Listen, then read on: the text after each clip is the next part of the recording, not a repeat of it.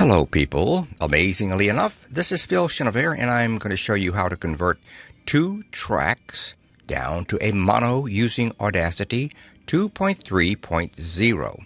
I made an earlier one many years ago, and it's out of date now. Anyway, you can see that I have two tracks here. They're in stereo. Yes, I want them in one mono. So we'll go up to Tracks, Mix, and it says mix stereo down to mono.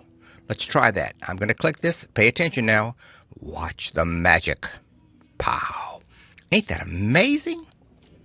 Now, the only difference you're going to have, of course, will be the, this will be a tiny bit louder. So that's it. One more time. Let's eh, undo this.